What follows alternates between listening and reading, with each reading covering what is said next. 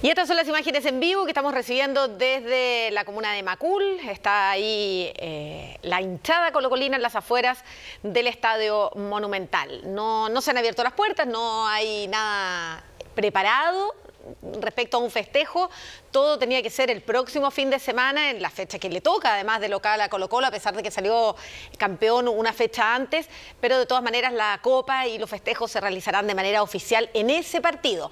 Sin embargo, se corrió la voz que los jugadores aterrizaban en Santiago y que iban a ir al Estadio Monumental, así es que los hinchas se fueron inmediatamente a ese lugar para festejar y recibir a los campeones altos. Ya habría preparado una comida esta noche para el plantel que festejó en cancha en el estadio Sánchez Rumoroso eh, y pocas veces eh, Maca un título ha tenido tanto sentido en, en el trabajo de un técnico.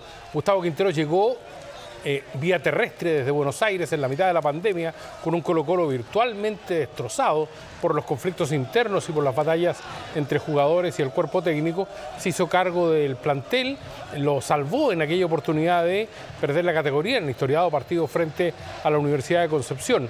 Gustavo Quinteros además eh, tiene un registro que puede, puede sonar impresionante. Resulta que hay apenas dos técnicos en la historia del fútbol chileno que han salido campeones con dos equipos grandes. Eh, Gustavo Quinteros había sido campeón con Católica, ahora lo es con Colo Colo. El anterior era Luis Álamos, el Zorro Álamos, que ganó el título del 69 con la... Eh, que, ganó con el Ballet Azul de la Universidad de Chile y luego salió campeón en 1972 con el conjunto de Colo Colo. Jugadores y que en cualquier momento vamos a ver pasar el bus que trae a los jugadores de Colo Colo que se han coronado campeones eh, durante esta jornada en Coquimbo. Nos quedamos ahí con esa imagen para ver en directo la pasada del, cuadro Albo que va camino al Estadio Monumental donde nos decía Aldo, hay preparada una comida, un festejo pero privado. A pesar de eso son ya miles las personas que han llegado a las afueras del Monumental alcanzaron a ducharse afortunadamente en Coquimbo. Por lo tanto, el, avión... Vienen listos, para, listos para la comida. No sé si listos, pero yo creo que van a pegar alguna pasada em, para, para ir eh, más formales a lo que es habitualmente la cena con que se distingue a los jugadores campeones.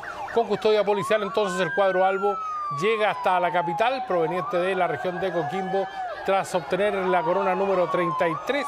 Em, los hinchas han llegado hasta, hasta el terminal aéreo de Santiago y eh, reciben un Colo Colo que, como suele ser habitual en este tipo de festejos, eh, Maca, eh, golpean los vidrios, asoman las ventanas, hacen gritos, pero hay una gran ausente que es la Copa. La Copa no está, la Copa va a llegar, entonces, como ya les hemos insistido, en el próximo partido tiene que ser entregado oficialmente por la NFP, pero los jugadores salvos ya están en Santiago obteniendo, habiendo obtenido el título de campeón del fútbol chileno.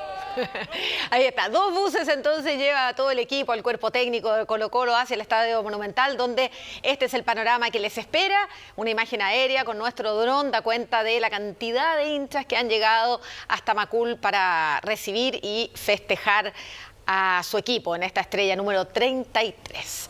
Así está entonces el festejo colocolino en la ciudad y vamos a estar eh, más adelante en eh, todo nuestro bloque deportivo para revisar en detalle todo lo que fue el encuentro y la carrera de Colo Colo hasta llegar a la fecha del día de hoy.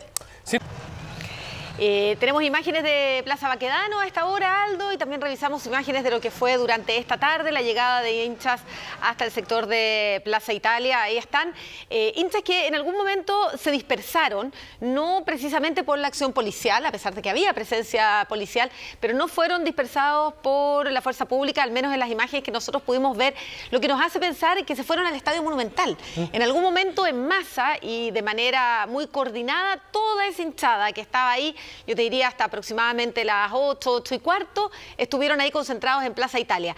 Probablemente al correrse la voz de que venían los jugadores y que iban a ir al Estadio Monumental, ese grupo entonces de hinchas fueron a encontrarse con eh, sus ídolos, con eh, los protagonistas de, este campeonato y de esta estrella número 33. Así que a esta hora en Plaza Italia hay eh, bastante normalidad, muy poquita gente, presencia policial, pero ya no queda esa hinchada que pudimos recoger en imágenes de esta tarde, que es la que estamos compartiendo con ustedes. Ahí pueden ver ustedes eh, lo que es Plaza Baquedano, incluso con tránsito normal de automóviles en, en ese lugar. Ahora